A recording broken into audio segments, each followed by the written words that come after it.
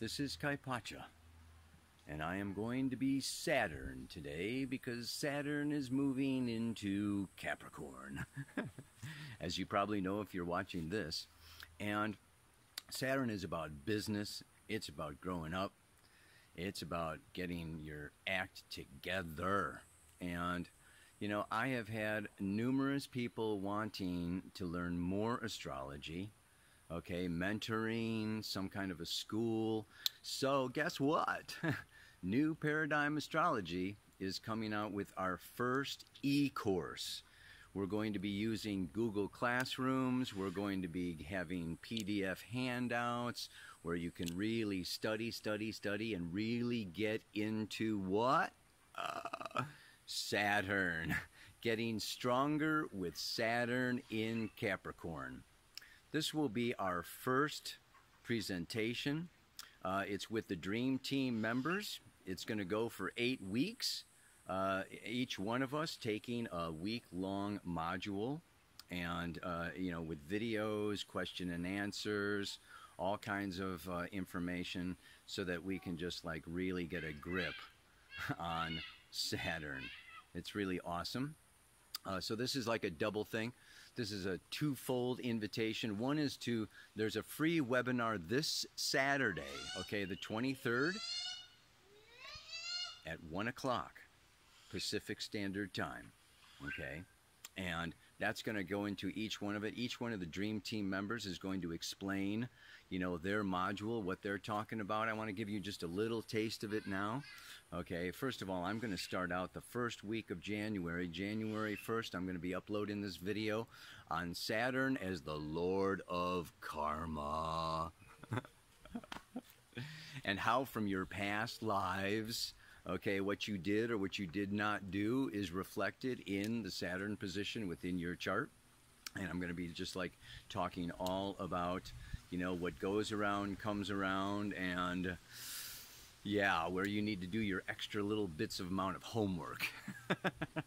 How it deals with obstacles, limitations, and delays. Yeah, and why that has, you know, what the underpinning of that is. Yeah. Second week, week number two, Julia. Yeah, the, from the CIA down under. She's going to be discussing and taking Saturn in its natal placement okay, and showing in the workplace, you know, where this shows how you can really master yourself. She's going to be also going through the Saturn cycle. Every seven years, you know, if you're 7, 14, 21, 28, 35, 42, you know, it goes on and on.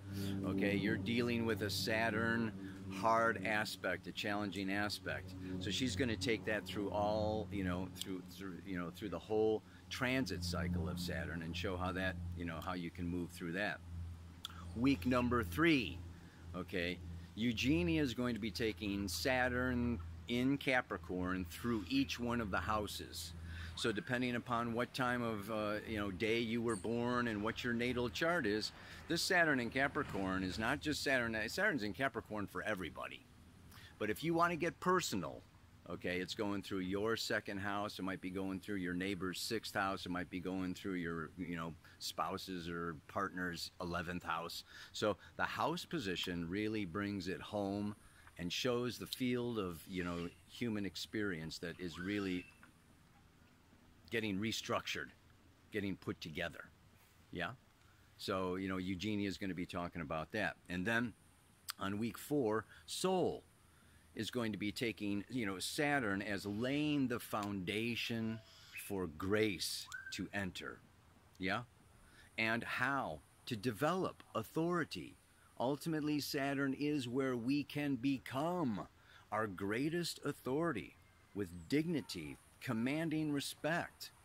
Okay, having it together and really be an icon and a, an example, a model okay, for future generations. So, you know, Soul is going to give us some hints and some tips on how to do that. Yeah.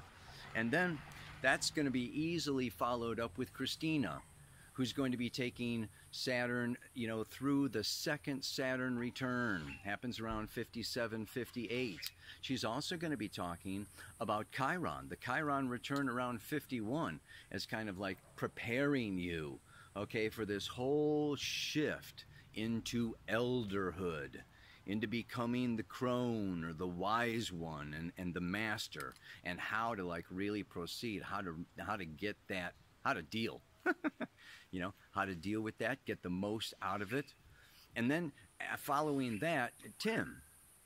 Okay, Tim, week you know week seven. Tim is going to go into the Saturn's nodes Okay, each of the planets, not just the moon has nodes, but Saturn has nodes. And he's going to be talking about how Saturn is really having to do with conditioning and deconditioning. Like liberating from societal, religious, cultural, family conditioning that we've had. Yeah? So this how Saturn can, you know, really be, okay, and our ally okay, in really stepping out of the conditions into our true power. Yeah?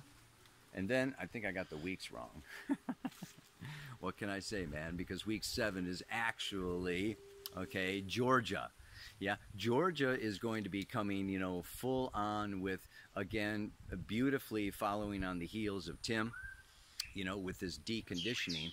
And she's going to be talking about taking the masks off. Okay, so in how you know we take these masks off and we liberate ourselves from shame on both a personal level and on a societal level, on our institutions, and how this time period of Saturn and Capricorn for each one of us personally and society is going to be like being real getting over, you know, hiding what we are ashamed of. She's also, of course, going to be talking about Black Moon Lilith. Black Moon Lilith has a lot to do with shame, yeah? And Saturn and Capricorn has to do with this mask. So, you know, uh, George is going to go fully into that. And wrapping it up is Ari. Okay, Ari, week eight. He's going to really just be looking at the whole 2018 to 2020. Okay, Saturn in Capricorn for a couple of years. It's going to be coming up and hitting Pluto. And he's going to be talking about how this is like the end. Saturn balsamic, you know, approaching its final phase to the Saturn Pluto cycle okay, and how that really is a time of changing paradigms. It's the end of an old paradigm and the birth of a new paradigm. So he's going to be talking about the future, okay, and he's going to be talking about, you know, like what's coming up, how to take the most advantage of it, how to like really, you know, put yourself, you know, in a position of mastery, you know, in preparation for what? Yeah, well, the new paradigm. Yeah, ultimately what? Jupiter, Saturn, and Pluto, they're all going to move into Aquarius. so, you know, we're kind of closing up this old Capricorn phase. You know, the patriarchy came in, okay, 6,500 years ago when the nodes of Saturn were last in Cancer, Capricorn. They've returned to Cancer, Capricorn now. That's why we have this end of the patriarchy. And as these planets move into Aquarius, I really see 2023, 2024 as the birth of the age of Aquarius when it's really going to start. So let's clean out the old in preparation for the new. I hope to see you on uh, Saturday for the free webinar.